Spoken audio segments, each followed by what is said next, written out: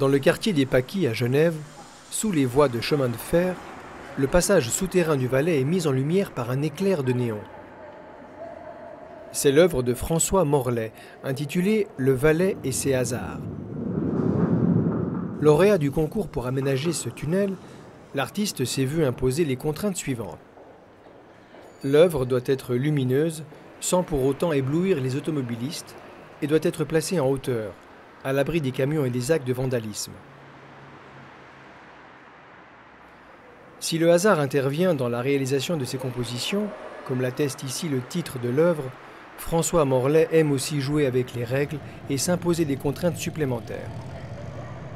Il choisit de dérouler l'alphabet le long du tunnel et de relier par des néons bleutés les lettres du mot Valais. Ce jeu crée un motif de zigzag qui semble ricocher sur les parois de la galerie.